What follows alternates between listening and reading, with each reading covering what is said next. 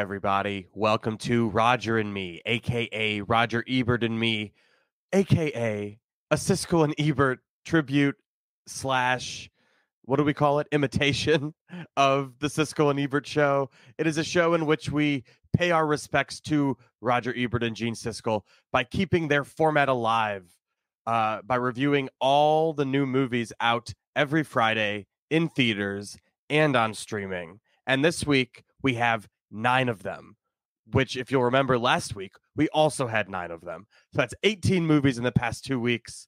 I know a lot of people are still reeling from their Barbenheimer double feature. Mark and I have not stopped watching. Um, good to mediocre to literally one of the worst movies I think I've ever seen. Uh, all that and everything in between. My name is Brett Arnold. I am a film critic in quotations because my film critic credits are this podcast. This is what I do now. I review all the movies for this podcast. In the past, I do have actual credits. Thank you for asking. I did write for Business Insider. I wrote for where else? Maxim Online. I write for consequence. I've written for Consequence of Sound, aka Consequence of Film. I believe is their film site. I've written for Yahoo Entertainment, uh, and Mark of MarkReviewsMovies.com is a real bona fide film critic, reviewing everything every week since 2001. Is that right? Yep. 2001, very memorable time. With some downtime based on, you know, everything. Yeah. Having a life. yes, of course, of course. But you you mostly get it all done this week on the pod. We have nine on Mark's website. I always love to do this comp. I think you have twelve. Yeah. So th- there's three more on Mark's website. Uh, any worth discussing?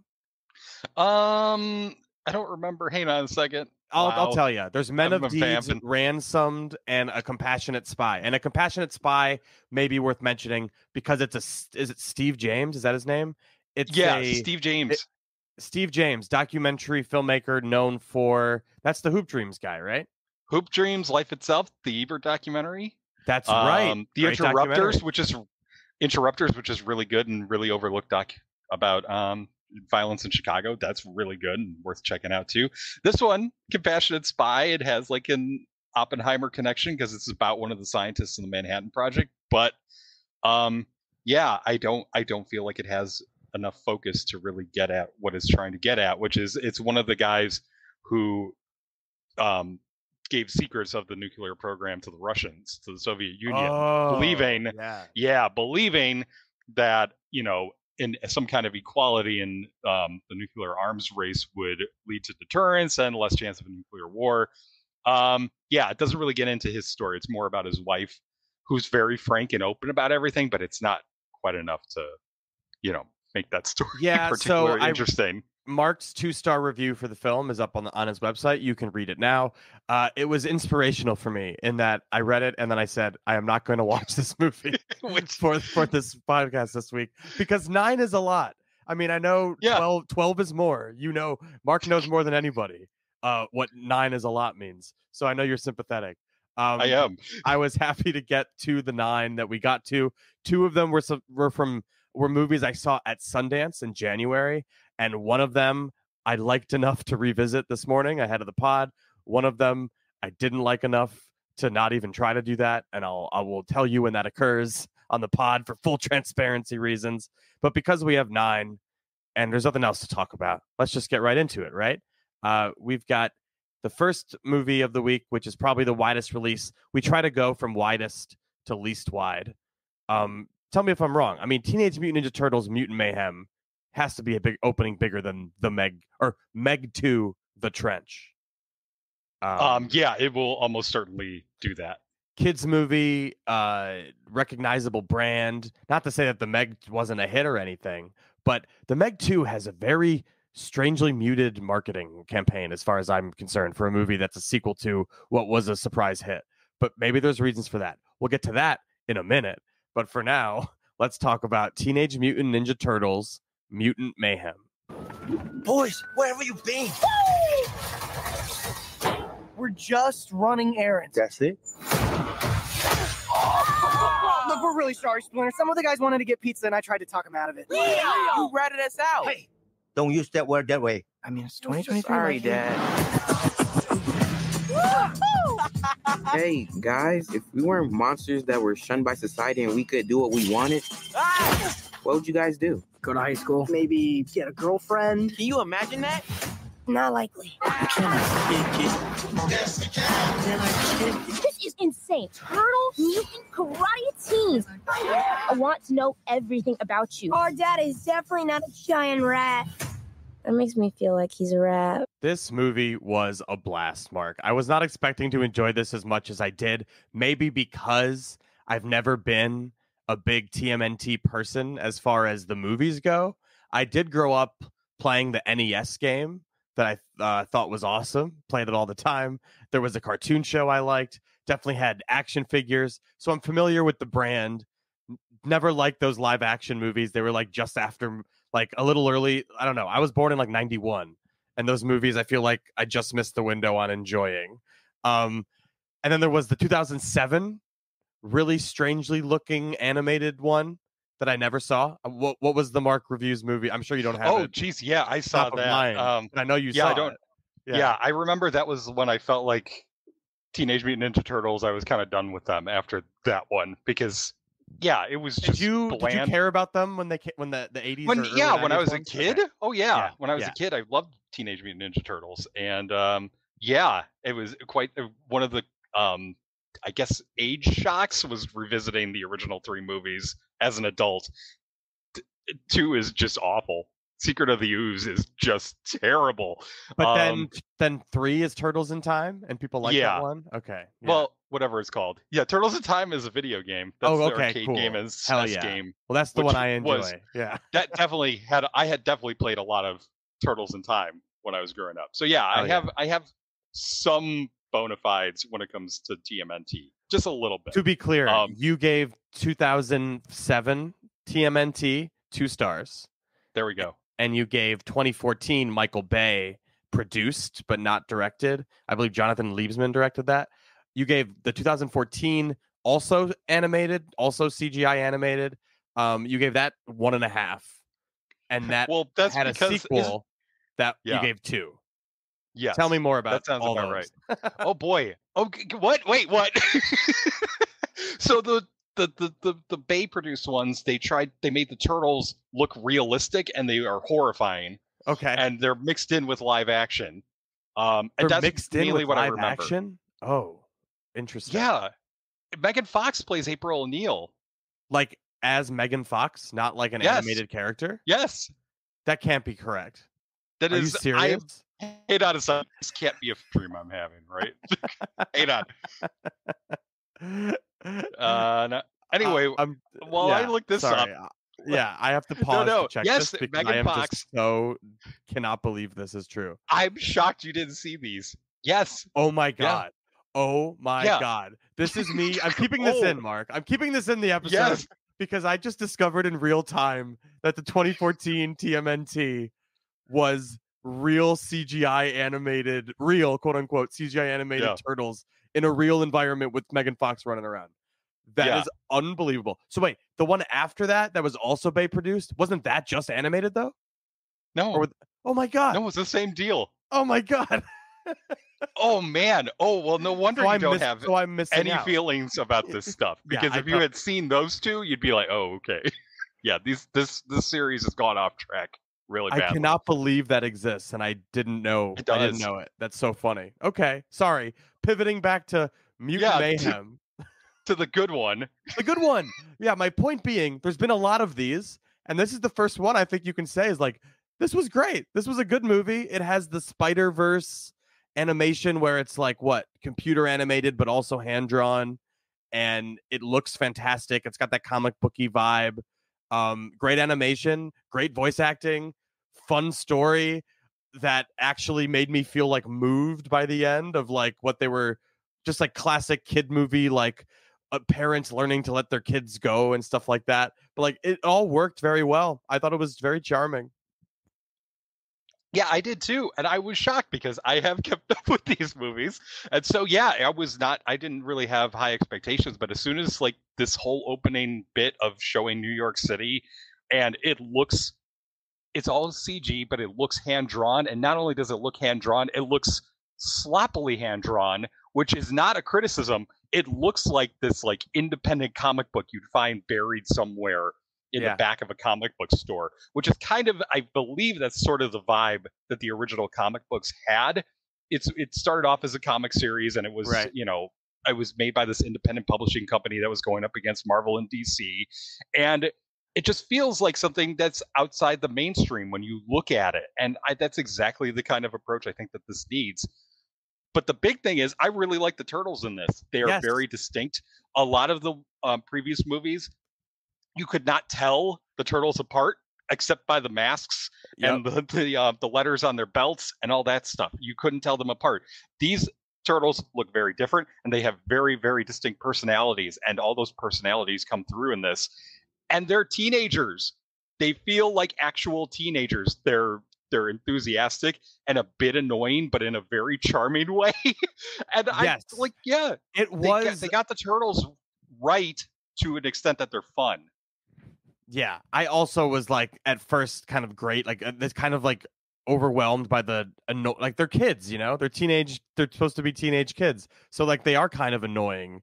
Uh, but once you get on their wavelength of the movie, I think they're actually quite charming. Like even when they're yelling about bacon, egg, and cheeses or whatever their fucking very run it long running joke is in that movie, uh, in that section. Um, speaking of running jokes, there's a couple incredible payoffs to some very silly running jokes that you don't think much of th- when they keep making reference to it. And then when it comes through in a big way in the end, it's a huge laugh. That happens a couple times. I think it's way more clever than you'd expect it to be.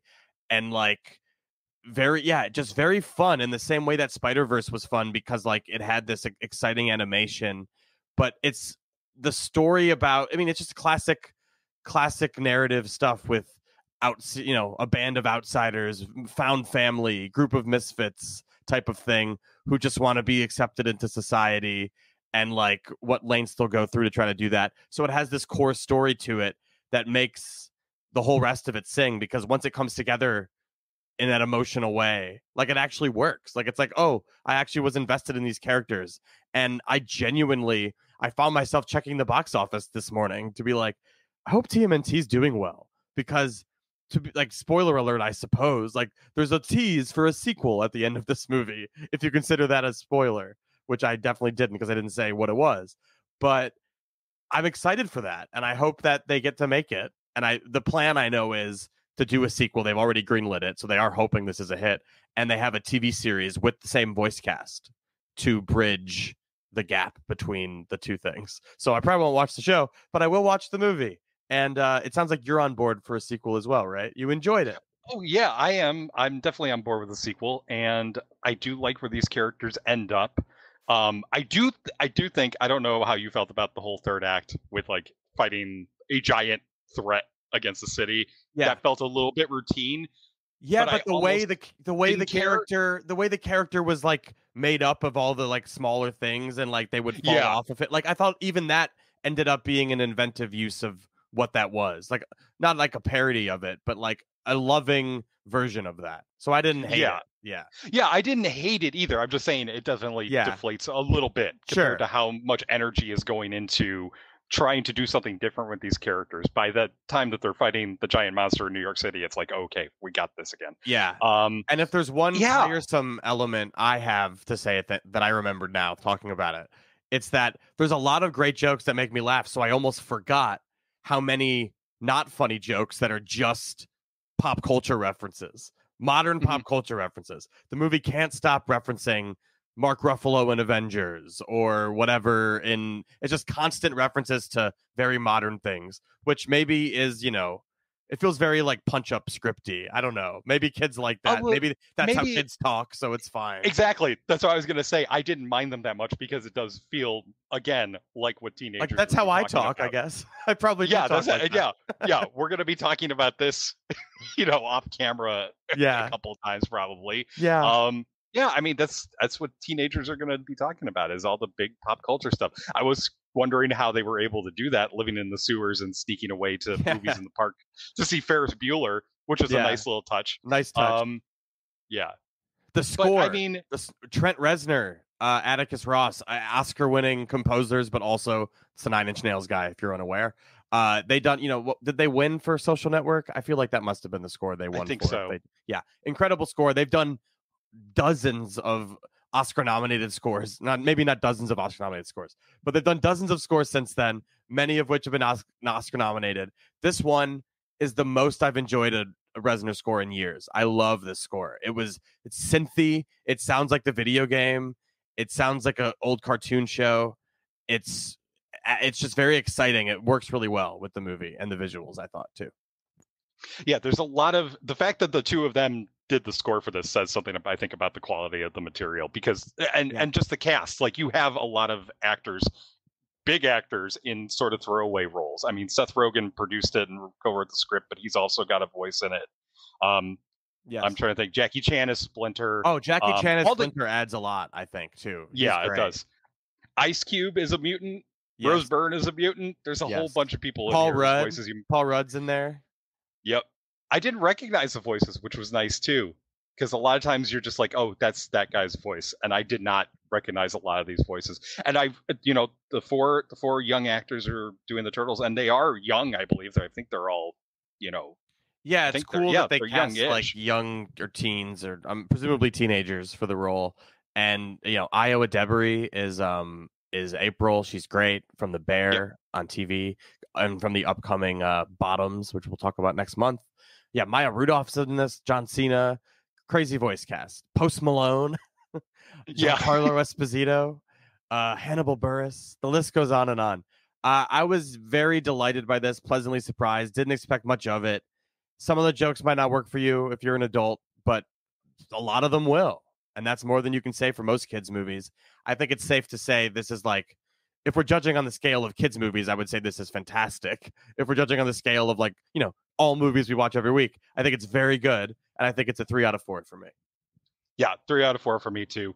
Um, visually inventive, a lot of energy in terms of the characters, and you know, if the movie's got third act issues, I don't really care that much about them.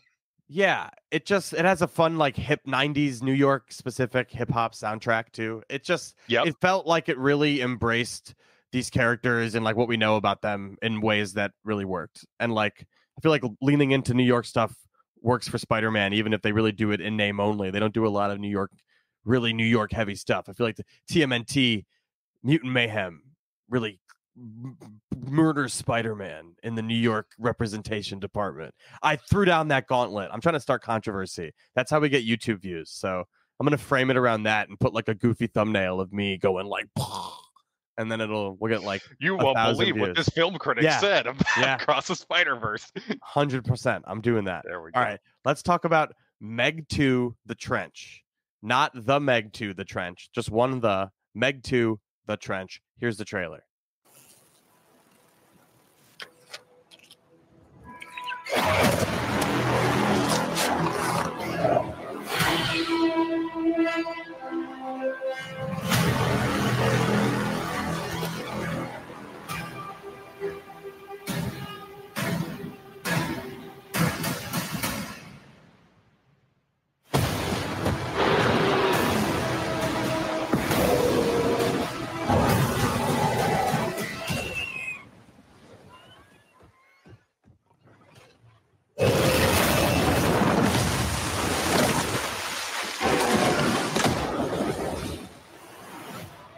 Shout out to the Warner Brothers marketing department for an incredible bait and switch for the Meg 2 because that trailer that we just watched which is actually the it's like the opening scene of the movie and then the rest of the movie happens and it cannot live up to that awesome premise that like the whole the whole I feel like the whole deal of the Meg is summed up by what just happened. If you if you're not watching on YouTube, I will transcribe the trailer. The opening of the movie is 65 million years ago. Uh, what are they called? The Cretaceous, the Cretaceous period, Cretaceous, Um, yeah. the Cretaceous the period, crustacean period. the, cr- the Captain Crunch period. I don't know. Uh, it's 65 million years ago. We see little dinosaur things. We see like locusty things, and then eventually we see the T Rex come and scare everybody. And you think, oh wow, the T Rex, the most imposing figure possible for this period. And then out comes the fucking Meg out of the water and eats the T Rex as if to say, no, the Meg is cooler, bigger, more terrifying than the most terrifying thing of the prehistoric age. It is such a bold, awesome, like actual what I want to see from this premise out of this movie, which didn't happen at all in the first movie. I did not get what I wanted out of giant shark movie from the Meg. And from the Meg 2, from the opening scene, I was like, oh, hell yeah. This movie knows what it is. It is stupid. It is silly. The movie knows it's stupid. Characters say, this is so dumb. And like, it's just very self aware of how stupid it is. But it doesn't deliver on the giant shark movie thing because it gets bogged down by the most anno- generic, boring, human centric uh, plotting that you would not believe how much plot is in this movie that should just be about sharks, giant sharks running around. You get some shark mayhem in the final 15 minutes. It's kind of, it's almost fun. Like that section almost works, but it comes after an hour and a half. Like it's a two hour movie. It's out like an hour and a half of it is just people talking uh are characters you don't give a shit about who've barely been introduced like chasing other characters you don't give a shit, shit about who were barely introduced. It is baffling how they have botched giant shark movie that costs 130 million dollars. They've done that they botched it twice. This movie cost 130 and looks the visual effects look no different to me than like sharknado or like a $2 million sci-fi original movie. They look so bad. Every time the shark is shown from above in the water, it looks terrible. It's never convincing. Uh, Jason Statham standing on top of a ship on, on an oil rig or whatever, terrible green screen that's never convincing. It just looks like shit. It seems like Jason Statham knows it's garbage. He doesn't want to be there. I love the man, but he gives a low effort performance.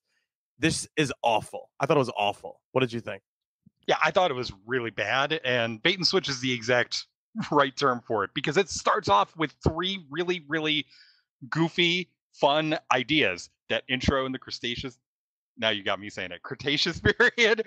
Um, Statham's character as like an eco eco activist James Bond. Oh yeah. Um, which is like, oh, okay. Why are we watching that movie? I'm curious about that. I now. forgot that And that then- gets dropped immediately. Yeah. and you forgot the most gloriously silly thing, which is that the new head of the Oceanographic Institute has trained a megalodon to be his pet. Well, I was I was less Come on. enthused about that, Mark, because it felt like didn't we see that in like one of the Jurassic Worlds or something? There's It- this it- whole premise of like, yeah, the raptors and everything. Yeah. It felt very Jurassic. It just felt so blatantly like we have to open the Meg up into Jurassic World level proportions, and it felt so calculated that I didn't really even clock that as like Oh, a fun, silly but it's thing a giant shark. It's a right. giant shark. he's got Come a on, giant it's So that he it's so controls with a button like this. He's like, Yes, it's so silly and so stupid. And like, and it never it pays off like once right near the end of the movie. Yeah. That's the only thing, and we don't even know if it pays off. I'm I'm just true. I'm just fascinated how you throw that element into it and you never ever use it. Well, and you're this and movie's instead, constantly throwing things that doesn't pay off. Like they have Yeah. these like mecha spacesuit things that they Oh walk around yes. in underwater, and it's like you know when you see a Chekhov's gun, you're like that's gonna get used later, and you're like, oh, that's gonna Jason Statham's gonna fight a shark in that, and I cannot wait to see that. Nope, nope, nope. they take them off. They take them off, and they are never seen again. It's just it's so inept on every level that it's I'm just baffled. I'm like, first of all, where did the hundred thirty million dollars go? It, it looks terrible. it Um, does look but terrible. like the story, like who decided this needed the most generic evil corporation shit ever? Like it just gets so derailed by all of that. And then the the title is the trench, right? And then they spend all this time in the trench, which is so silly the way they set it up. There's basically like a layer of uh, uh, in the water that like a lot of cold water. water that you can't get past, but they get past it fine. I have no idea. But like they get through it, and like there's supposed to be this underwater world where again, I've said this about I think it was the Little Mermaid, maybe, where I'm like, they're trying to wow us with their underwater CGI world. And we just saw Avatar last year, and that looks amazing. And this looks like dog shit. And it, it looks so bad. And like, what is his visual idea for what the trench looks like? I don't know because it seems to have been just make it darker. Turn it off. Turn the lights off. It's dark down there. It just none of it works. It's people just trudging along in the dark, talking up, yammering about bullshit, one-liners that the audience is laughing at, not with. It's very bad. It's very inept. I'm just gonna keep ragging on it. You need to jump in. And, Yeah, no, I mean, yeah, it is too dark in the undersea thing. The, a character, like the first character, gets killed off by a giant sea creature. I, I don't, I still don't know what that creature was. It looked like a giant sea turtle. I thought that was kind of the joke was that it was going to pay off. Like, oh, it's really not that bad of a thing, but I couldn't Yeah. tell what it was. Um, and, and then yeah, you don't an see issue. it, Persistent and the guy's the helmet movie. just floats down. Um, you know, it's directed by Ben Wheatley, and you can tell he has some ideas for some gruesome deaths and kills from these monsters. But you know, Oh. he's being he's being you know held down by the fact that the studio clearly wants this to be PG-13, and so it can't be grisly, it can't be bloody, it can't be the things he clearly wants it to be. Somebody has, you know, a, the the pressure of the suit implodes on this person, and you never see anything about it. Um, and that, and then also the movie has no idea how pressure underwater works. Even within those things that it establishes, it's like you can't do this, you can't do this, and then somehow a character just floats up from twenty five thousand feet without an issue. like, it's it's so dumb. It's so dumb. and it it's dumb and like fun. it's fine. I'm fine with it being that dumb. It just it's it's you're you'll be shocked when you see this movie how much it's really about a bunch of humans running around with guns. Like it is just nonsense. And there's really like I would say 15 minutes to 20 minutes of action strewn about the 2-hour movie. And am I crazy or was that third act was it supposed to be just like haha we're going to do the repeat of the third act again. It basically felt like they were it's the same exact third act as the other one. And it I say it was not maybe not equally underwhelming as the first as the third act and the other one. Like that one's like look at all these people that are about to get eaten. And to my recollection, like nobody gets eaten because it's a PG-13 movie as you say. But this one at least has the it's a Jurassic World knockoff thing about it where there's like other creatures coming around. There's a giant octopus that shows up and like again, it looks terrible, so it's barely fun and it's barely interesting. There's two moments that that worked for me. That one shot from the POV of the shark's mouth, Mhm. where you're seeing people getting eaten by the shark in the POV of the shark. That was actually terrifying. It lasts it lasts 0.5 seconds because the movie's PG-13 and they can't get away with it. That shot was really cool. Uh, it reminded me of that shot in Nope when the people get all sucked up. It was very scary. yeah, Um, and then the other one is like, you know, Statham on a jet ski fighting a shark can only be so underwhelming. It was still okay to see, but it's still pretty underwhelming. Like he kills it in an okay way. Uh, you know, it's just everything is underwhelming about it. And it's just infuriating that a movie of this size that they spent this much money on with this premise sucks just as bad, if not worse, than like the the knockoff asylum straight to video versions of this, which of which there are a Yeah. million, like Mega Mhm. Shark versus Octopus or whatever. Like it's not that far removed. It's there's not enough distance between that and this. It's crazy to me. yeah. We've seen a couple. We've seen at least two. I think we've covered two giant Yes. shark movies on the show. The at Black least, Demon or whatever or something. yeah. yeah, That's it's about like that quality, and this sh- this Yeah. should not be that level of quality. yeah.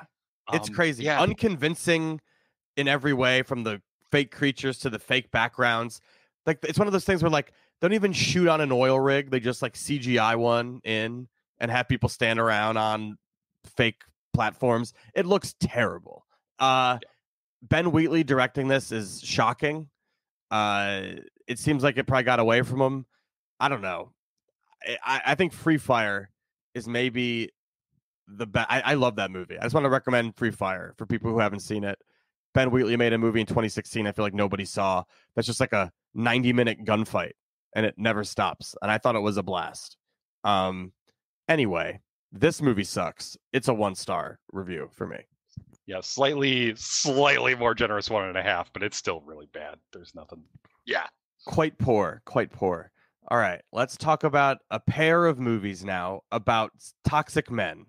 At the, a pair of films with some toxic men at the center.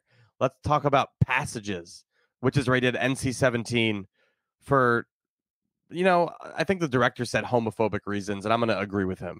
It feels like a movie that had sex of this nature that wasn't a gay version of it would probably get an R.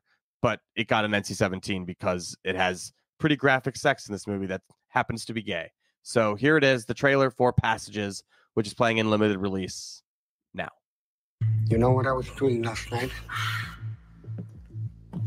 No, but whatever it was, you sound very excited.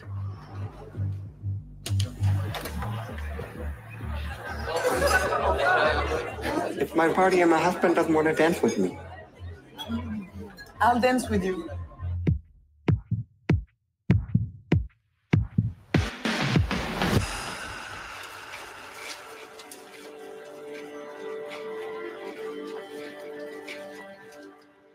Maybe we have to take more risk. So now you're falling in love with someone else, you're taking that risk. I just watched this movie again, Mark, and I really like it. I liked it just as much as I did the second time, as I did the first time. But I had that reaction that was like the last scene of Burn After Reading, where they're like, Well, what did we learn, Palmer? And he's like, Well, I don't know, sir. And they're like, I don't know either. But I guess we learned not to do it again, I guess.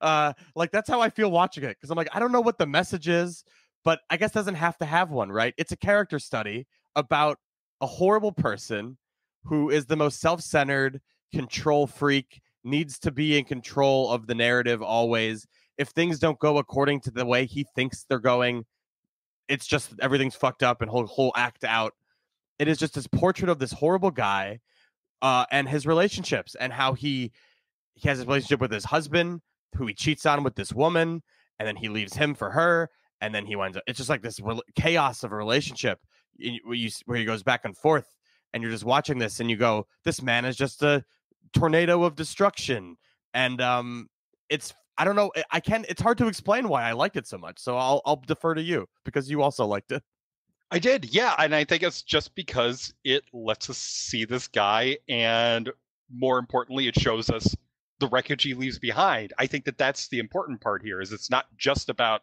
how terrible You're this right. guy is; it's Yeah. also about Ben Whishaw's character, who plays the husband, trying oh, everybody's to get away so from him. good ben whishaw's Yes. so good everyone's great in this yeah um, and Adele X. oh, I'm never going to get her name correctly. Exarchopoulos, who is the woman that he has the affair with and becomes, you know, attached to and moves in with, and how she reacts to gradually realizing that this guy is completely unreliable, that he only cares about himself, that all of that stuff is happening.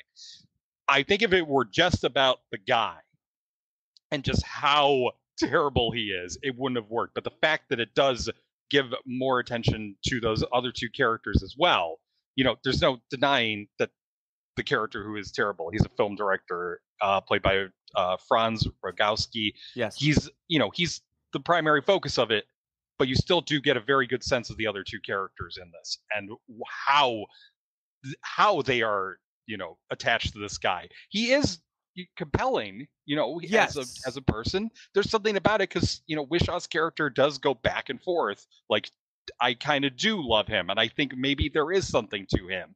well um, I think it's yeah, and I think that comes from you really get the sense that this is a guy who uh, there's a scene where he tells her that he loves her and she says no you don't or whatever and he says I say it when I feel it and she says you say it when it works for you. And that kind of sums up the whole deal. Is that he's so self-centered, he'll say anything that suits him in the moment no matter without thinking ahead uh to like, you know, say maybe uh, theoretically someone was pregnant he would not be able to think nine months in the future. He can only think now and why would you even want me to think that far in the future? It's just ridiculous to think about. So like it's just a portrait of this type of a person who isn't like i don't think it ma- I I think a lot of people would say there isn't any redeeming quality to this guy. Like i don't see it at all. I don't see why anyone would like him. I don't think that's the i don't think it matters though because I think it's, you're right. These people do love him. I think it's important that they both do love him, and that's an important part because when people are in these relationships, they don't see that part of them that way. There is a reason that they fall for them, is my point. And I think this movie gets a does a good job of balancing that with the reality, the cold reality of how they actually are, versus like the pull of, well, I love this person and I want to be with them, but God, the shit is horrible. Um, it's like hard to watch, right? You're just like this motherfucker the whole time. yeah, pretty much. Um, but yeah, it's like I, I do like how detailed the script is. Like there are certain moments you're like, wait, why is like why does he tell why does he tell the husband immediately that he had the affair. It's like that makes no Oh, sense. Yes. and then you get it. It's like, Yeah. oh, he tried to he tried to cover it up, and he wasn't getting the attention he wanted because Whishaw's character just gives him the silent treatment. Like, yeah. and then as soon as he tells him, Yeah. "I had sex with a woman," it's like, oh, do you want to hear about it too? yeah. Because now he is the center of attention. There are Yes. all of these different scenes. Yeah. There's a scene with um with the woman's parents. Oh my god. He shows up in a crop so top. Yeah, it's so un- well beyond that. It's so uncomfortable Oh, because it's horrible. the yeah. mother is just the mother's just trying to be like get at this idea of who this man is and he takes that as either a legitimate attack on him or seeing it as an attack on him as a way to turn this entire conversation to him and for him to take control of it Yeah. there's all these little tiny specific details about the the And, like, you know, of his characters reading anybody about anybody else's success that he knows, like a guy who wrote a book because he's Yeah. a, he's a, he's a Yep. he's a director. Anybody else? Oh, what an arrogant prick! That book sucks. Uh, just like cannot fathom that anybody else would do anything good. Uh, he's not abiding by. Oh, when the, when the guy tells him that he's not writing a second book, and he can't fathom that, so he's not abiding by his standards. So he's like, what a fool! He's not writing a Yeah. second book despite one being successful. Like, how could I don't understand that? and it's just a guy who cannot see past his own perspective and that you're right it's the little details that make this so compelling because i also think it's just really real like I, we all know a person like this who's so self-centered um that they are reckless with their behavior and yeah this movie does a good job of showing you the fallout of the people that he comes into contact with and what happens to their lives as a result um and yeah i, I really i really thought it was great both times I watched it. Didn't lose anything on second viewing. Um, you know, character study of a horrible person. If that sounds like something you want to watch, go for it. If it sounds like something you're cringing at, I understand. Um, but like it's a movie with a lot of intimate uh, sex in it. Um, and that I don't know, that also adds to it to make it feel very real and personal. Um, it's good. I really liked it. Three very strong three for me. Oh okay cool i thought you might have gone a little stronger on it too yeah three for me too Yeah, I'm hesitating with three and a It's half just to- because it's like this character Yeah. study that like I've seen movies about dickheads before, but it's just like yeah it's a we're very about to talk good about another one Yes, we are. after this exactly. And like as far as movies about dickheads go, I think it's a very good one. But like I don't know if it, you know, it needs for the three and a half would need to like really I devastate me in more of a way where I'm just like this one. is kind of a low, low burn. You know, it's kind of like uh, it's not. There's nothing truly like cr- I'm gonna cry about it, devastating about it. It's just kind of a low simmer of a douchebag, uh, more so than like a I don't know worst person in the world or something, which I really love or something like that. Um, let's talk about shortcomings because you liked this one, I didn't. I'm curious to hear your defenses of this fucking prick that I had to watch for all movie. I'm just kidding. I'm just kidding. Unlikable protagonists are fine. I just didn't think this movie was very good. Here's the uh, trailer. It's based on a book that a lot of people like. Also, here's the trailer. Practically the only non-white person in my entire high school. And you never felt discriminated against? I definitely did, but not because I was Asian. Because of your inherent bad personality. Exactly. Do you remember that internship that I applied for? What about it? It's in New York. New York is overrated. It's so gentrified now. How many times have you even been there? Are we counting layovers? You always assume the worst about me, and then you end up acting crazy over nothing. I'm not acting crazy, so stop using that word. You're just proving my point. Are you two like broken up? We're taking some time off while the cat's away. The, The mouse will play with himself, probably. Can I kiss you? Sorry, I'm a little out of practice. It's clear. Take it away, Mark. What is this movie? Uh, what's it about? Why'd you like it? Um, it is about Ben, played by Justin H. Min, and he's just, you know, he's he's a jerk. He's a, he's a, he's a slightly lesser uh, version of the character from the uh, from Passages, but he is also like an aspiring filmmaker who, you know, left film school and had a project blow up in his face, and so he's bitter about it, and he has spent the rest of his time being bitter about it, even though he should be quite happy. He's got this great apartment with um in in Berkeley with a girl that he's dating, this young woman who's also very talented and very smart and all this stuff. You'd think he should be happy, but he's miserable and he tries to make everybody else around him miserable. And I I don't know. I enjoyed it. I thought it was pretty funny. I thought it was smart about the character. I think it does pick apart the guy in the same way the passages does. Maybe not to the same degree and definitely in a different tone. It's funnier about it. It's more aware of the fact of that this character is sort of representative of like this ordinary character. There is this Yeah. whole underlying I know we're going to get to it. There's this whole underlying thing about about race and ethnicity and the specificity of that going on in this story too. But more to the point, it is just a study of this relatable, understandable in a certain degree because everybody knows, like you said, about the guy in passages. Everybody has known somebody like this guy. People might know them now. There might be some people listening right now who are exactly like this guy. Don't Yeah. be like this guy. What? Yeah. um yeah. i mean that's that's just what it is i found it i i found it compelling and funny in sort of the same way as passages but slightly different because it is more of a comedy than passages is obviously um i hate Where- comparing where- the two but we're talking about them right next to each other Well, yeah, it makes sense, but like I don't know, for a comedy, I just expect to laugh more. I just didn't laugh enough for this to like pass my muster as like an enjoyable comedy. I think the most interesting characters are like characters that aren't the lead. Like the, the best friend character is more fun than the lead, and I don't know. I just never clicked with it. I understand what it's trying to do. Uh, it's just like ultimately too cynical for me, and has that like it just felt like a i mean i saw it at sundance maybe that's part of it. It just felt like a sundance movie to me where i'm like yeah this doesn't ultimately work but i really liked where it started right? Because it opens with this like crazy rich asians parody and then it goes on to talk about something i think is really interesting which i've seen a stand-up comedian talk about this who was in a stand-up comedian who actually appeared in the movie easter sunday. Um he played the son. His name's brandon wardell. He's like a 30 year old but he played like a high schooler in that movie and he did this whole bit when I saw him at a friend's comedy show, and he was talking about, you know, I was in this Easter Sunday movie, and like I took my mom to the premiere, and like you know, Filipino representation matters. It was so cool for her to see that through her eyes.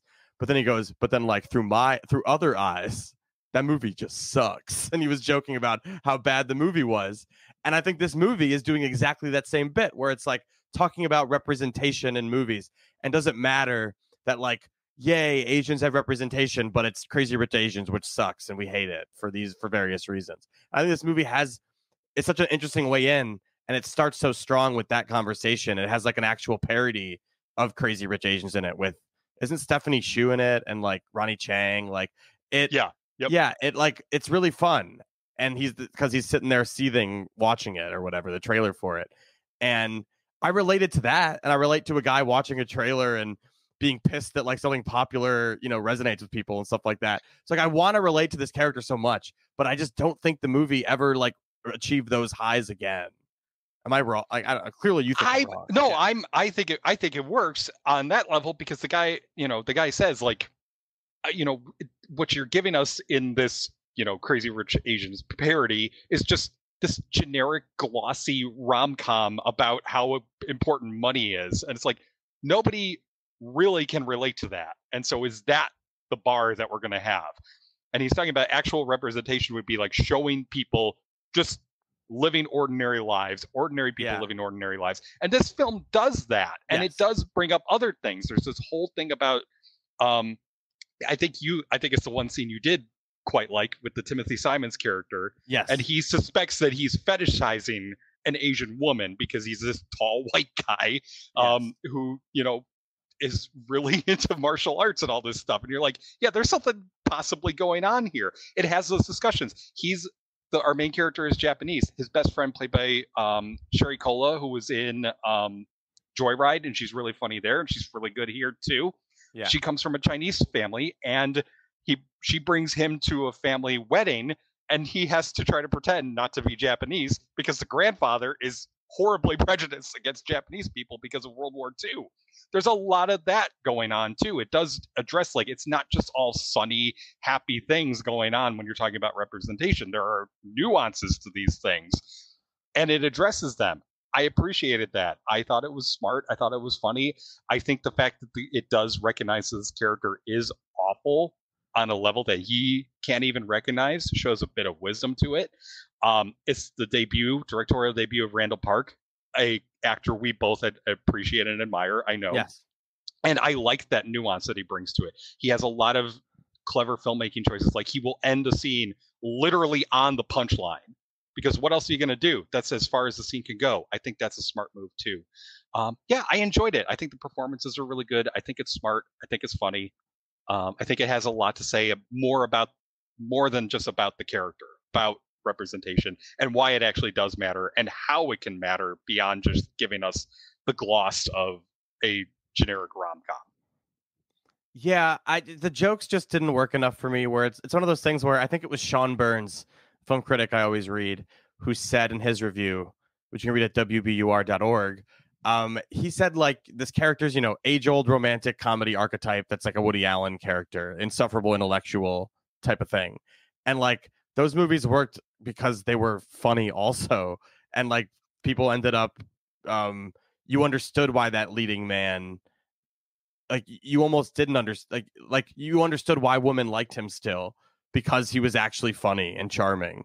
And i just didn't get that from his character here. So like you just feel like you're watching just the unpleasant parts of that and like yeah it just didn't work for me but um i'm i've i know it split the room at sundance as well some people liked it some people didn't so don't take my word for it maybe you'll like it especially if you like wink wink nudge nudge jokes about people who are in marvel movies talking about marvel movies which i thought was really dumb and annoying um, yeah, I didn't like it that much. Two stars for me for shortcomings. Ah, three stars for me. I enjoyed it. go. I think it's worthwhile. Now we can uh, let's move right along to a movie we can both agree on. Let's talk about what comes around from IFC Films, starring Scream King Kyle Gallner. Kyle Gallner, the king of straight to video horror movies. Here he is. Sometimes I like to just focus on your voice and your words without that distracting face of yours. Yeah, right. I have a boyfriend. Uh, wow, that's cool. you can't stop smiling. I've never met anyone like him. Do I know him? Nope. Don't answer that. Hi, Eric. Who are you? Who is that? Honey, We met online. You met on the internet? yeah. Don't you think we should meet someday?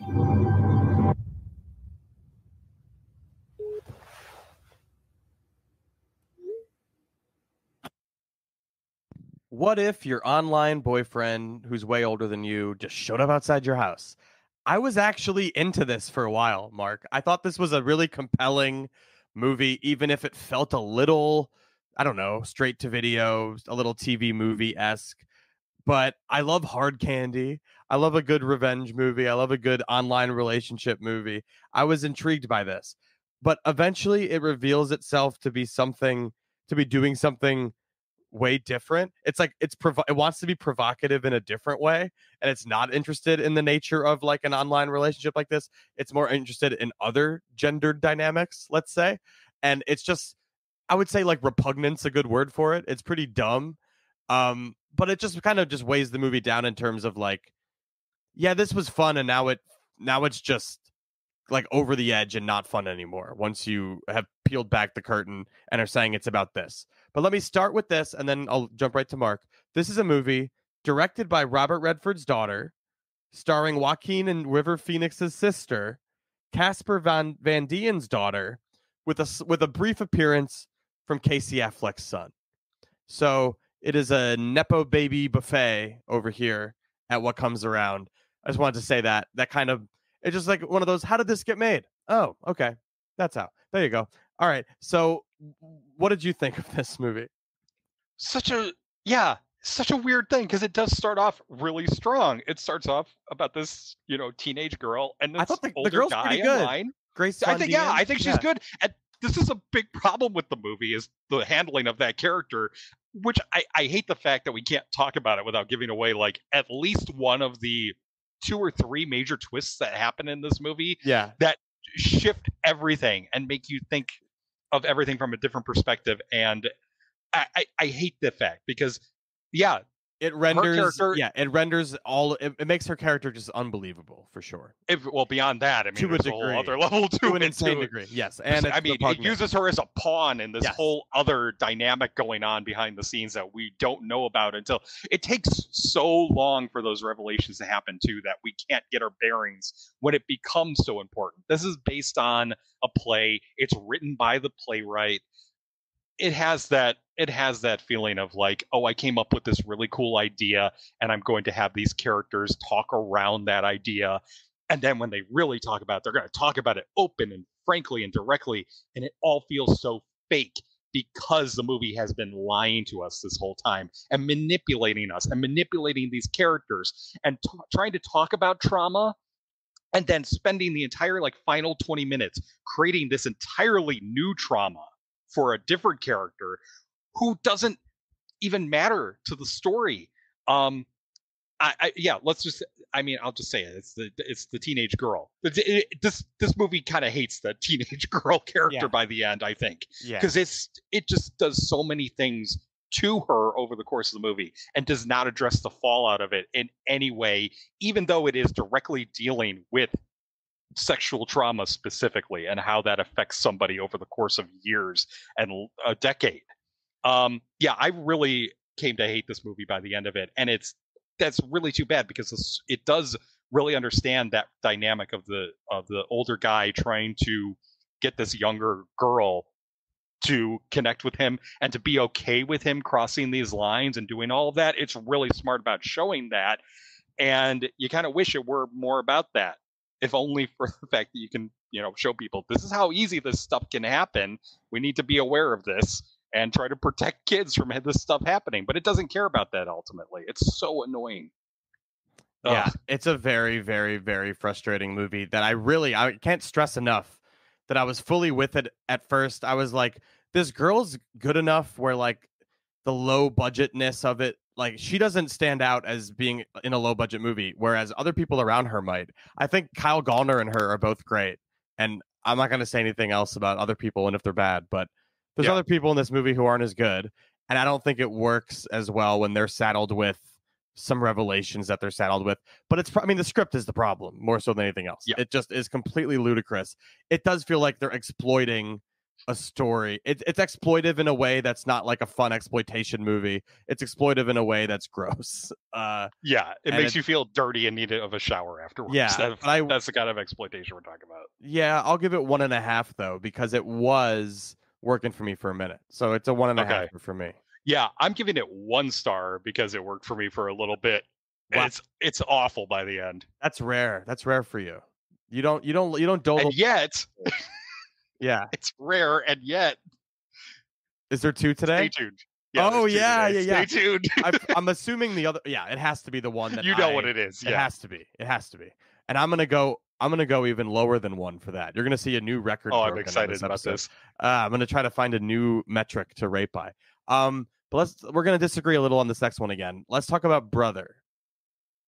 You watch me. Follow my every move.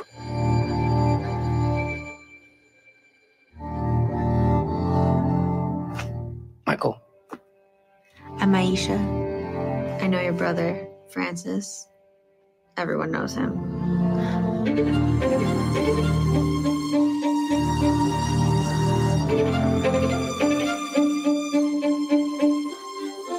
Where are you going? Just gonna meet some friends. I don't want you running the street with no hooligans. You hear me, Francis? Take your brother with you. Hey, don't make anybody disrespect you.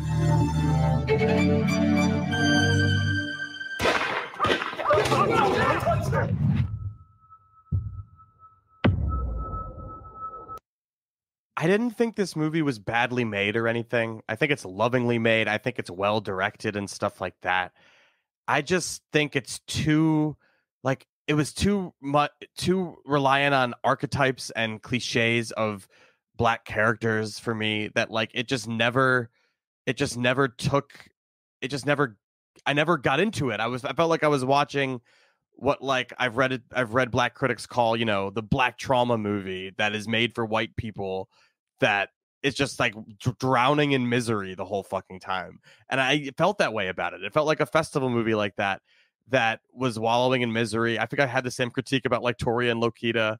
Like I just don't know what I'm supposed to take like I've seen this movie done better is my point. And I thought this was particularly heavy-handed with the way that opening vignette starts and then is the motif throughout the movie like the power lines thing like i just wasn't with it from from the jump like i was like this is overwrought like this isn't working for me and then it it stayed that way the whole time but i will cede the mic man i this worked for me from the start and it worked for me through the rest of it too. I mean there's a couple of issues i think in terms of certain elements of it. Like it is about this you know young black man dying and we don't know how and it does at times feel like it's sort of teasing out like oh maybe this is how he died. Maybe this is how he died. But i don't care about that so much. I don't care about that so much because the editing on this is so smart and intelligent in terms of Mm. the way that it makes connections in terms of both the story and in terms of emotional through lines and all this stuff because it it takes you through these three different periods of these two brothers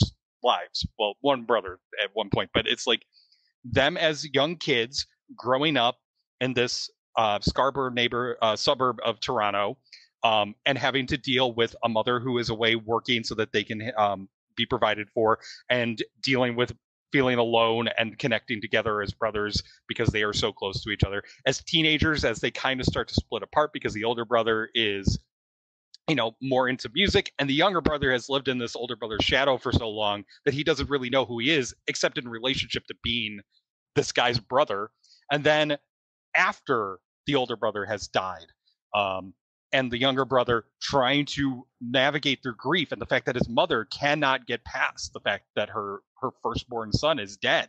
Yeah. Um i i found it compelling. I think the performances are really good. Again just the way that the entire story the entire narrative is um is is connected in those ways. I found that really interesting.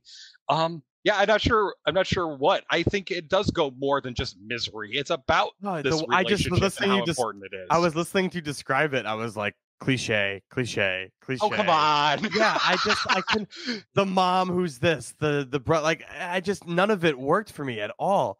It just felt like it was ticking boxes on black trauma topics. Like I've I, I mean, I'm not trying to minimize anybody's experience. I'm so sympathetic to uh you know, all of the things the movie is trying to tell me about. I just didn't think this particular movie did a very good job of of exploring the issue. I just felt like I was watching misery happen over and over again and it was Oh. just like you know scored very intensely it just was melodramatic self-serious i understand this could work for people but like to me it felt like uh, trying to do what like I, don't- I don't- it just felt like lesser versions of better movies um i thought the style i don't know jumping in and out was weird for the exact reason you said about trying to set up a mystery about what happened to this black dude and then they reveal what happens and it's like again cliche.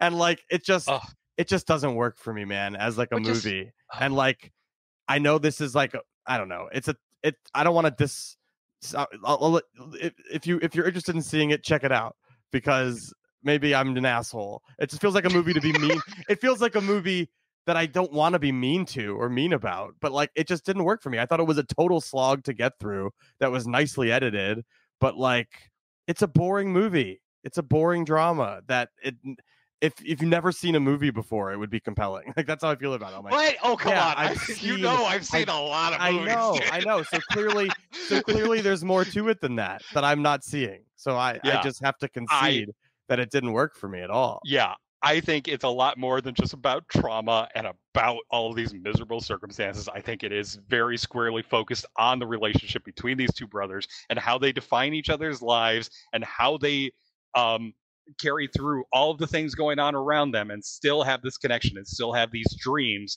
and still have all this stuff and then how the What younger brother is trying It's to so He- the, the older brother wants to become a musician. He wants to become a musician, and he has this relationship with this other person that he has to keep a secret. There's a lot of stuff Yes. going on in here. Yeah. There's a lot of stuff going on in here that's not just about the misery. And You yes, mean it the you mean revolves the around. closeted black man cliche? Okay, you know what? Okay, hang on a second. everywhere. Yeah. Oh my You god! unlo- we unlocked another one.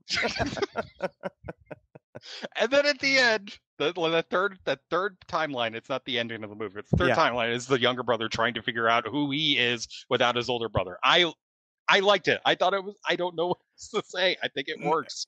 Yeah, I think if you watch this movie and you don't roll your eyes at the fucking uh, climbing the electric tower thing, maybe Oh, you'll you enjoy it. didn't- And it, and you if didn't- you and Oh, if you on, but- if you roll your eyes at that, just turn it off because it's not going to work for you. That's my advice. Oh, because it didn't but work for that- me at all. But Yeah. there is that shot though, and you probably think that's a cliche too of the hand. You probably thought that was a cliche too. I thought it worked after all, everything that we went through, but whatever.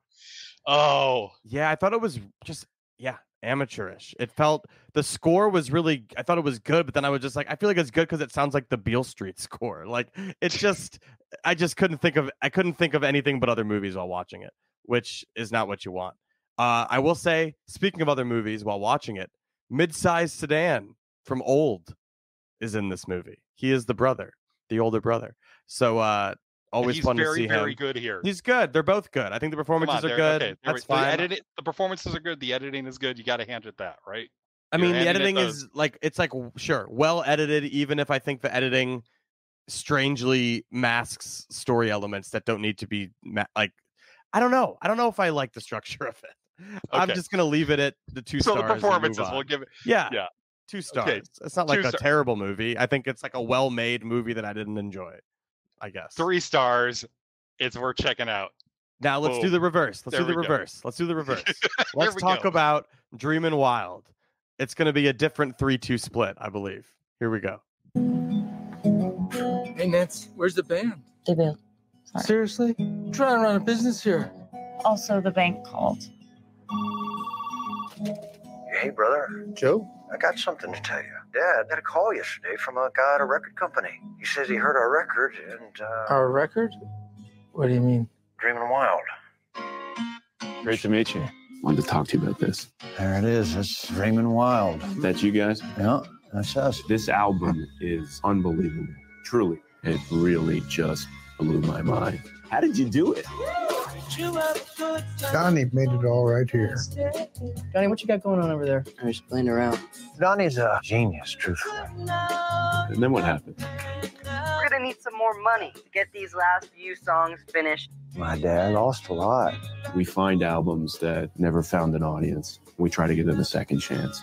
And based on all the buzz the record has got, you've seen that, right? During its finest moments, to twist a Brian Wilson phrase, Dreamin' Wild is a godlike symphony to teenhood. Brian Wilson. Yeah. Thematic connection. The director who made this also made Love and Mercy, the Brian Wilson movie that has a similar structure to this, actually. Um, Dreamin' Wild is a movie that's based on a true story. It's about a record, you know, Chris Messina, record producer, guy who um his whole job is look, finding overlooked bands that are lost to time. Finds a record that starts to go viral online, ends up being by these brothers Donnie and Joe Emerson, and he wants to, you know, put the record out properly on a studio uh, uh, with, with you know, on a proper label, etc., and make them known. And people love the music once that happens. It's an incredible true story that feels made up, but it's true. And it's one of those movies that I think lives or dies on if the music is good or not because the movie plays the same song like five times it's quite repetitive in that way um, i get that criticism if that's one that people lob at it but i think that song baby the main song that they that's like the main single from the album that i feel like really blew up for them that they play at the beginning and they play at the end and they play in the middle um, i think that song is that good that i do get when chris messina walks in and is like this album blew my mind. And like I think I just love music so much and I think this is such like a base story of broken dreams being found again and like the reality of what that looks like versus the uh, you know, a lamer movie may have just been like isn't it great for Joe and Donnie now whose music has finally been found after all these years. I think it's very smart and clever and sad and complex about the emotions one would feel in that situation. And there's a lot of reasons for that, as the movie reveals. Like, it's not just his career, his dream that was crushed. His whole family ended up, you know, his dad put money on him that he bet he literally bet the farm on his son and it didn't work out. And there's all these feelings there. So there's so much riding on it. And also when you get successful and you're a 40, 50, whatever year old man, and people only want to hear the shit you wrote when you were 17 and didn't know anything, and now you know all this stuff and no one wants to hear that. And it just it's a movie about all these complex things and having them on your shoulder and like just about the dream having dreams and believing in your family and stuff like that. I was so swept up in the emotion of it that I did think it worked, even though it felt to me while I was watching it. I'm like, yeah, these are cliches to use the brother term that I used a thousand times. There's a lot of there's a lot of musical cliches uh in this movie. But I think as I said, the songs work and the performances are strong and the movie isn't sugarcoating anything that I thought it felt very true in spite of the cliches. So I thought it was good. I'm a three star review on Dreamin' Wild. I'm curious why you were. I expected a two and a half, but a two. Yeah. strong. So what? Um, what's your beef, sir? I'm just I'm just gonna ignore the inconsistency between these two because I'm probably gonna be inconsistent on this too. Um, so I, I, okay, you're right. I think there is I think the idea behind it to get to the complexity of the feeling of like this what should be a very traditional feel good story. Somebody's dream coming true, albeit belatedly, and everybody getting exactly what they want, albeit way too late for it to really count in terms of what had they've gone through. But man, I just found Affleck's character to be such a bore and so just caught up in himself and how he's feeling about all this stuff when he it makes no sense to me on on an emotional level because it is just him wallowing in these past miseries while he has everything handed to him right Oh, now I all the success he wanted Oh, I related so much to like he literally can't go bring himself to go to his childhood home. Like he his family still lives there and he he won't anytime he's at home with his parents, he rushes out the door. Like I related so much to like being back home and like childhood memories flood, flooding back. And then once you learn the context of why he's so fucking miserable, I think it totally makes sense that he would feel that way about but I don't. I, I I didn't, and I did. I mean, yes, I kind of do, and I appreciate the fact that it is trying to dig deeper and not just be that cliched story. But man, it. I didn't feel good And, about like- anything that's happening, and I I feel as if I should at least by the end feel like, oh, something worked out for these characters. I didn't feel that way by the end. It didn't feel as if anything is really resolved here because the guy spends the entire movie being so upset and so sad about everything in the past. And I, I again, I get it. If that were like part of the movie, sure, but it's the entire movie of just trying to explain things Yeah, that we can repetitive. figure out for ourselves. I'll give it that. I'll we give can it that. figure out for ourselves that he, that the father lost the farm. And then we figure out that it's because he was giving money to the, son, to the younger son so that he could fulfill There's his something dreams. so they didn't powerful about that, though. Literally giving there- giving all Yeah. your money to to the to your kid because you believe in them. Because but and like when it's warranted, because this kid did have fucking talent. Yeah. that's what's crazy to me. It's a true story. If it wasn't a true story, I would think this movie wasn't as good. I think it's genuinely interesting that it's a true story, and I would say there is growth by virtue of the movie ending where it does with the real life characters on screen. I think it was actually like a clever thing to do because I'm like, he is here now and he is playing, I think, his new music now. And like, that's how the movie ends. So I think there was an arc for him. And I think it just, it, I was surprised by how much work There's an there's an And- arc for the character by removing the actor and putting the real yeah. person in there. Well, because his voice is okay. already there the whole time. You can tell Yeah, I it's know. not Yeah, Casey Affleck. Yeah, Um, obviously, but yeah, obviously not. But in terms of, I'm trying to think of like, why did the cliches not bother me here? Um, again, it's the true story thing. Brother is so obviously a work of fiction that's based on a book that's fiction because it's every character is a fucking archetype. It's clearly not based on a true story. And this, it really, I think the true story, if it wasn't a true story, I would have different issues. But because it tells that true story with such grace and, um, yeah, I was very moved by it. I, I do acknowledge that it's repetitive, and if you don't like the music, it's just not going to work for you. But I love. I think the listened- music's good. That's not my issue with it. I've been listening to that song nonstop. I love it. Um, I think Walton Goggins is great. That whole arc with his brother is probably more interesting than his. I agree with you. Like, Mhm. um, it is more interesting that you know he did move on, but it's just it, it's fun for him, and it's not fun for Casey Affleck because like the whole weight of the world is riding on it for him. And like, is that fair? Is that not fair? I don't know. It's tough stuff. The movie also shortchanges the women, no doubt. They don't get to do anything. So I have problems with it. It's not a not a great, terrific movie. I, I I enjoyed it though. I think it works, and I think Beau Bridges being the father of Casey Affleck and Walton Goggins is like mwah, beautiful casting. I think it works great. Uh, I'm a solid three stars. I thought it was a good movie. I, I recommend it. Yeah, I don't I don't quite get it. So two stars for me. I just I I, I really really like Love and Mercy. I think that's a really Me too. really good film. Better movie. Um, Better movie. yeah. that's fine. Um, we can agree yeah. on that, and we can he can agree. keep, Bill Pohlad can keep making movies for sure, even though I don't think this one hits. keep making um, music biopics that are structured the same as, as these two are. Um, let's talk about. I'm just gonna go ahead and say it. May definitely, definitely the worst movie I've reviewed since doing this podcast, and maybe, maybe the worst movie I've ever seen in terms of just complete inept in every way, and just the movie just is vamping, trying to. Tr- it's it's not telling you what it's doing, but it's also not doing anything else. So it's just talking in circles. It's horrible. Here's the trailer for Til Death Do Us Part, which allegedly is getting a theatrical release, but I haven't checked the the the, the times today. I'll do that right now. Here's the trailer.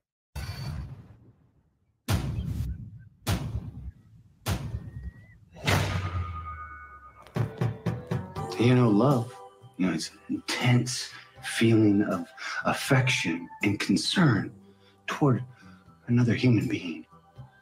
Me, I haven't been in love. Come on, man, not that speech again, please. I am doing this to honor them. Can't go through with it. I'm sorry. I thought I could. Come on, hon, I love you. I love you too, but I want out. I want out of all of it. And you know better than anybody that's not possible. Well, we found your runaway bride.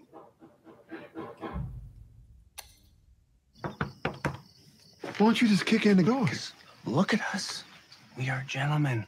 I think this movie's trying to be something but across like a cross between Ready or Not and Kill Bill with some John Wick in there or something. But it's so inept at at being a movie that it it just kind of throws you into it cross cuts between different time periods and then is just constantly re- like waiting to reveal what's going on. It's like, well, the organization says this. The organization or the unit, whatever it is, they keep like vaguely alluding to things that they're waiting to tee you up and tell you about later. But it's so tedious, and there's no stakes or drama or reason to care about any of these fucking characters who you don't know who they are because the movie doesn't tell you until they want to later. It's just so completely the worst thing I've ever seen. I don't even know where to begin. It's horrible, no redeeming qualities, barely resembles a movie with a plot because the plot relies on the writers misdirecting the you, the viewer, until the very last minute and then revealing something that you go, oh, so the whole time it was before that or after that moment. And it's like, that's supposed to be a twist that's meaningful and mean something. Like, who gives a shit when that happened? It just lacks any sort of anything that makes a movie successful. What did you think of this? pretty much the same, maybe not as strongly, but yet the structure of this thing turns it into something incomprehensible. The story is so simple. It's just a group of groomsmen coming to the summer cottage of the bride, the runaway bride, to try to convince her to go back, or I guess to kill her for because they're they're awful people for some reason. And the reason is we don't know that reason until like right before the right before the start of the third act, I think. I think that's when it finally tells you this is Yeah. everything that's actually going on here. And then And you're yeah, like, you're oh, right, this there's is no dumb. Great, there, thanks. there, yeah. there are no stakes because we do not understand the relationship between these characters except that they're groomsmen and a bride, and that's all they're named too. They're the groomsmen and the bride, and then the groom, and that's it. And it's you're confusing right, because the mm-hmm. groomsman seems like it's her ex or something, but it's not, and it ends up being something It's- stupider than that. yeah, there is this whole underlying narrative going on that the filmmakers keep as a secret and intentionally keep as a secret. And that other scene that it throws us right into in Puerto Rico, the You know, when that's Puerto supposed Rico to take place. there's a Puerto Rican flag in the background, by the way. Yeah, yeah, exactly. But that entire thing, we don't know when it's happening, and that is intentional too. They intentionally keep that. They tr- they they play with that to make it seem like, oh, this is happening later on. You're like, yeah. how can that be possible when everything that we are seeing is happening? None of it makes any sense while you're watching it because you're like, why does the bride immediately see these guys as a threat? There has to be some reason. Yeah. And we don't get it. And instead, she just looks strange doing this when these guys are knocking on the door and being vaguely threatening for reasons that we don't know. It's like they don't feel like a threat, so we don't feel the suspense or the tension of that. They're they're walking around the cabin making jokes, which undermines the whole thing. Um, it's it's so incompetent just in terms of the narrative that I I just I was like I I don't really care why this is happening. When it reveals everything, I'm like, okay, now at least I understand it, but it still throws in new inconsistencies with the story like and the if it if it played this movie out straight and told you what it was doing, it would still be a terrible movie. But as is, it is baffling in it just basic structure of like this is not a movie. You can't just have scenes that cut from one to another to each other with no like it's just like there's no reason to watch any of it or care. There's no motivating factor for why we're watching it and why the characters are doing anything. That's a huge gap. Yeah, it is hilarious because the whole thing hinges on the writers can't tell us stuff, but there's nothing to tell it. It's just like it's just Yeah. such a non anything. I'm like I'm feigning to come up with descriptive words to describe it. It just doesn't have a story that makes any sense. The filmmaking is garbage. The acting is garbage. The writing is garbage. It is. It. I. I'm appalled we're even talking about it, but I think it's supposed to be in theaters. I saw a trailer for It it. is, yeah. I saw a trailer for it when I saw Talk to Me the other night. So it allegedly is in theaters, even though when you search it on IMDb, it's very hard to find um, because there's so many movies with this title. And, Yeah. um, also, I have a theory. Um, I just only say this because he might be listening or something if he's a guy who listens to reviews. But this movie says from the creator of Final Destination all over it. And it's just a producer credit. And it's very clear to me that the shitheads who made this movie just paid a bunch of money to Jeffrey Reddick, who's a good man, friend of the show. He does he's on the New Flesh podcast. He is the direct, the creator of Final Destination, a huge franchise. Um, very clear to me that he just took a took a paycheck and let him use his name on this and say the creator of Final Destination made it, so they can make a little bit of money in this. I, I consider movies this bad a grift, and I feel like that he took part in a grift by putting his name on it. But maybe he has more to do with it. But I'm I'm choosing to believe he doesn't because I like the guy. Um, this movie's horrible, zero stars, negative stars if if they exist. Horrible. Yeah. There you go. One one star. I don't know why. Just felt generous, I guess. Unbelievable. I'll let it. it's it's awful. I'm not. Yeah. the- Don't. I let that- genuinely can't find showtimes in New York for this movie. Yeah, it is not in city proper, but it's in Middletown, Stony Brook, West Nyack. um, yeah, I mean it's around. You, it's it's definitely out in theaters. This is a real movie. Avoid, avoid, avoid, avoid. Horrible, horrible. Worst movie ever seen. Oh, Okay. Hmm. oh, you know what? It actually might not be in Chicago proper either. Now I'm looking at it. Anyway, but it's still it's still in theaters. So there we go. Oh, brother. All right, let's wrap this thing up with Klondike, the title that means nothing to me still. It is not, this movie is not a delicious chocolate coated ice cream treat. It is a film that is, it's tough, tough subject. It takes place on the border between Ukraine and Russia, but in 2014, not now. Different tensions, similar tensions. Here's the trailer. Це що за херня ще? Спокійно. Це то не херня. Це війна. Одягайся і поїхали. Куди поїхала Толя? На ту сторону, там, де нема війни. Надзвичайна подія в небі над Донбасом. Впав пасажирський літак. Всі подробиці вже за мить. Сань, да, твоя работа. Аматор. Тобі треба валити отсюда. Давай збирай речі. Бігом. Не смішно, Ярик. Хай. Здрасте. Вони дочку свою шукають. Mark, what is this movie about? I feel like the trailer didn't do the best job of. Uh, It's- yeah, we didn't it's let it rough. play long enough. Yeah, but I mean, it's also it does feel like that sort of slice of life in the middle of a combat zone sort of Yes. story. So it's about a husband and a wife um, in the Donbass region of Ukraine, uh, just a few months after Russia invaded in 2014, um, and it revolves partially also around when the Russian-backed um, guerrilla forces shot down a Malaysian Airlines. I think a lot of people Yes. might forget that that actually happened, and that was oh, kind of the I don't forget. most terrifying thing I could ever think of. it was yeah i mean it's awful but it, i mean there's so much has happened in the region since then it's like oh yeah of course russia is awful and that was kind of the thing i think that kind of jump started everybody to realize just how bad the country and the administration and the military could be that's i think that was kind of it because of like human life? Who cares? It's whatever it's awful.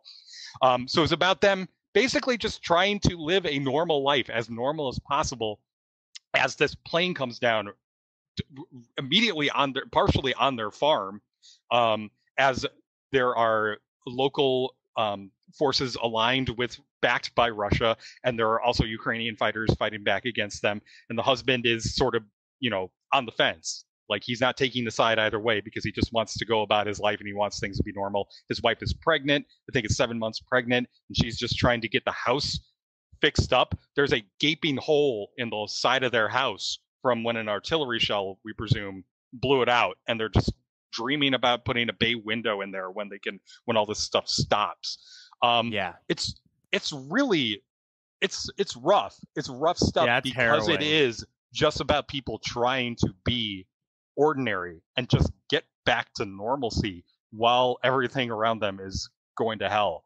Um, yeah, it's hard to describe. Um, the, the the filmmaking is very patient. It's a lot of static shots and one takes of things just happening, and you lets you take in like how normal combat becomes. Like they are just there are people cleaning up the airplane wreckage and lining up bodies from the plane crash, and it's just perfectly normal with all this stuff going on. Yeah. it's it's And- really horrifying in that way. and it all builds to like a last 15 minutes that are just like devastating. yeah, hard Oh. Yeah. to watch, really tough. Just like, you know, a tough portrait of people who have to stand their ground in the middle of something a dispute that you know they want no part of and their village is invaded but their home is where it is so they're sticking around and it's a slow burn maybe yeah a lot of long takes and stuff like that um but i think it's very impactful and it does build to like just like a holy shit you'll be feeling miserable conclusion so it's like hard to recommend in that way but it's like you know viscerally upsetting intense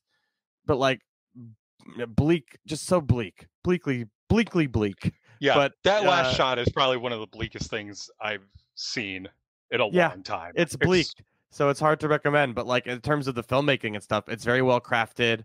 It looks great. Um, and I don't know. I don't know if I've seen a lot of. Is this? I'm assuming it's a Ukrainian film. Mhm. Yeah, it was shot obviously further west in the Yeah, country.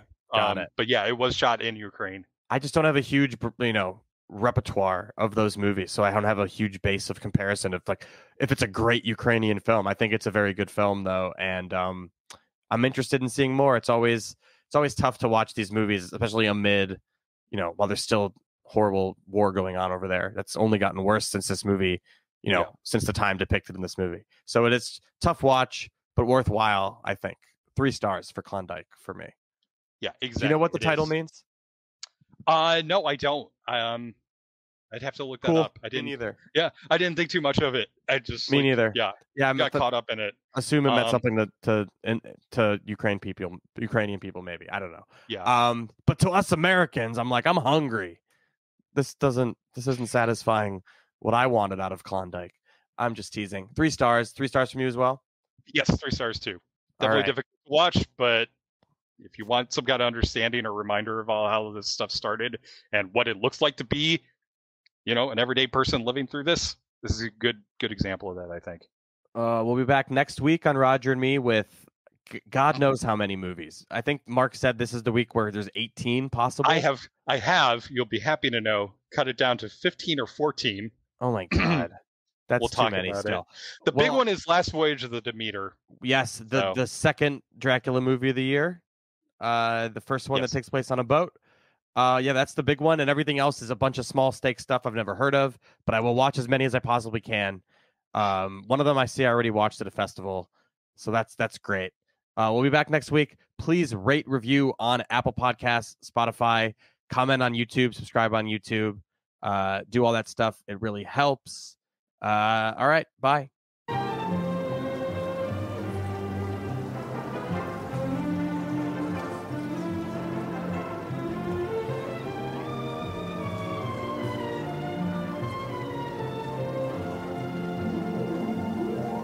The show starts in one.